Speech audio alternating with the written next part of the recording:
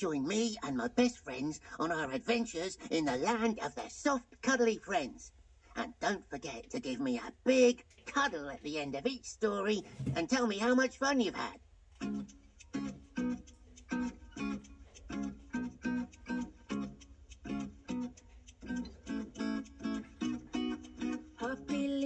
Timmy, they are the best of friends. They love to play together. Rabbit, and bear. They slide into adventure when no one is around. Magic times at Lisa's shop, so much fun to be found. Cuddly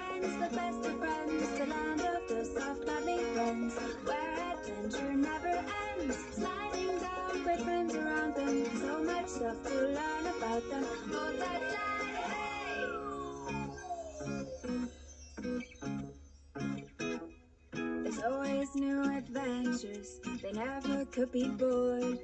There's loads of new friends to be met, great big ones or small, to beaches or the valley, or mountains whereby.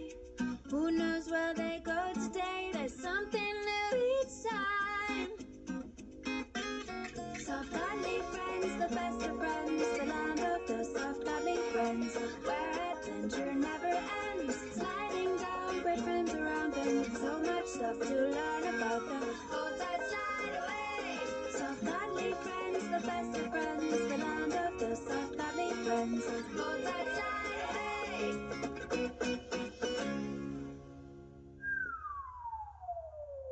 The Soft Cuddly Friends. As another happy customer leaves Lisa's shop, she waves goodbye. But remember, this is no ordinary shop. As soon as you see the cheery yellow door and the sign that says Soft Cuddly Friends, it's easy to tell this is a special place, full of soft teddies in all shapes and sizes, and playful puppies, cheeky chicks, and dear little ducklings.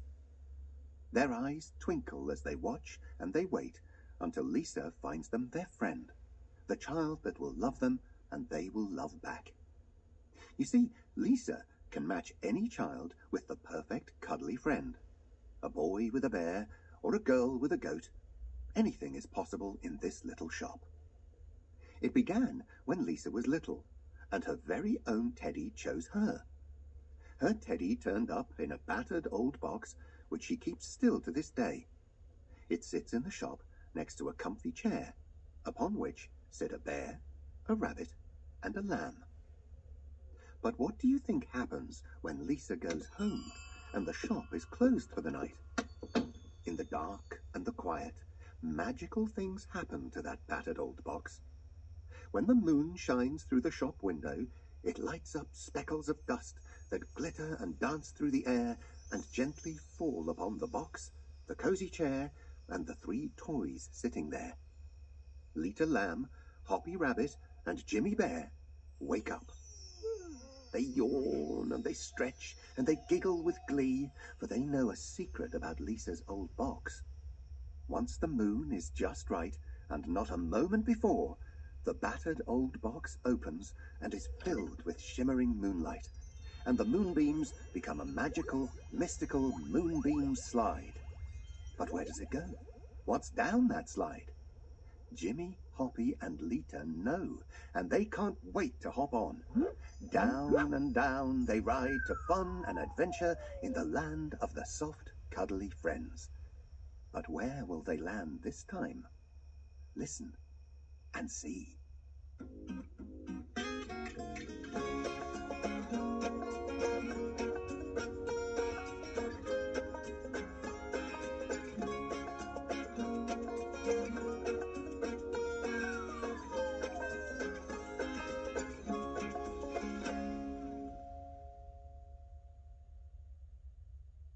The Banana Battle.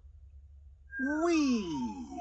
Jimmy Bear comes whooshing down the enchanted slide, landing in the thick fronds of a fern. Next comes Lita Lamb with Hoppie Rabbit tumbling after. Where are they? Jimmy looks up at the tall trees all around. Thick vines hang down like ropes. He starts to say, I think where it. The Jolly Jungle! Lita shouts. I was going to say that, Jimmy grumbles. Shush, you two, Hoppie tells them. Her ears are pricked up. She's listening. There's someone there. She whispers. Lita and Jimmy listen as well. Oh, yes, there's someone there. No, two people. Two people quarrelling. It's my banana. No, it's mine. I found it. The three friends creep through the ferns towards the squabbling voices. No, I left it on the tree stump. No, I found it on the tree stump. But I found it first. Then why didn't you eat it? When I eat my banana, it's none of your business. It is when it's my banana. The three friends can now see a chimpanzee dangling by one arm from a vine, trying to snatch the banana in question from a gorilla who keeps moving the banana out of reach. Then he spots the three friends watching them. Bodo, we have visitors, he says. Hoppie, Jimmy, and Lita step out from the ferns and say hello. Bodo, the chimpanzee, hastily swings to the ground. Uh, pleased to meet you, He says, I'm Bodo, and this is my friend Bongi. Well, he was my friend, then he took my banana, which I found, so it's mine, and now he says that he found it and that it's his, but it's mine because I found it, and he. The little chimp gushes so quickly that Jimmy, Lita, and Hoppie can't take it all in. All the while, Bongi is eyeing up the banana. He quietly starts to peel it, but Bodo shrieks, Stop! so loudly that Bongi drops the banana on the ground. He goes to pick it up, but Bodo jumps forward. That is mine! He snaps. Bongi rolls his eyes. Here we go again. Desperate for them to make friends, Lita says, Surely there are other bananas around here. You don't have to fight over this one. Bodo waves his arms wildly in the air. Of course there are, but that's not the point. This banana is mine, and he took it. The little gorilla shakes his head. I found it. It's mine. Now Jimmy shakes his head. This can't go on. Look, we can settle this with, um, a race? Bodo and Bongi both look up in surprise. Yeah, a race, growls Jimmy. And the winner gets to eat this banana. Sorted. The little chimp likes that idea. Oh, yes, He says. but He jumps up and grabs a vine. we're not running, we're swinging. That's not fair, Bongi protests. You're too good at swinging, everyone knows that. But before Bodo can argue, Hoppie says, Please don't squabble about it. What are you both good at?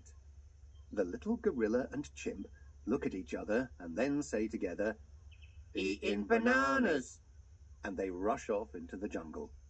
Lita, Jimmy, and Hoppie watch in disbelief when they come back with their arms full of bananas gathered from the nearby banana trees.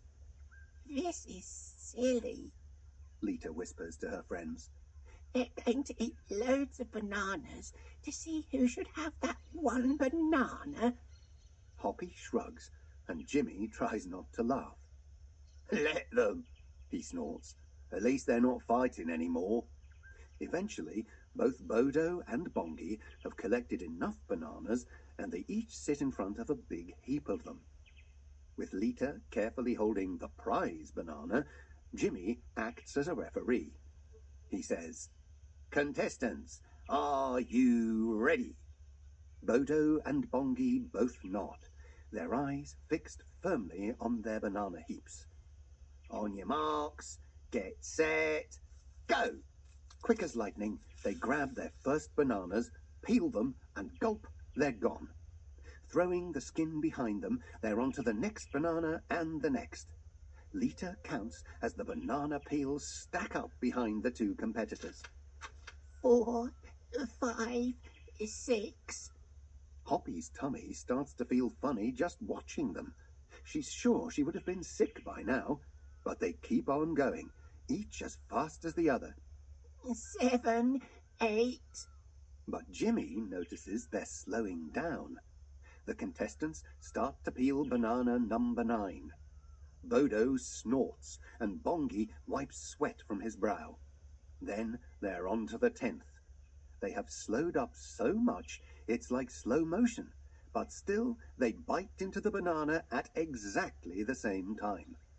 They are both looking very full, and after they finally swallow that first bite, they have to try really hard to take another. But if they haven't had enough, Lita has. Stop it now!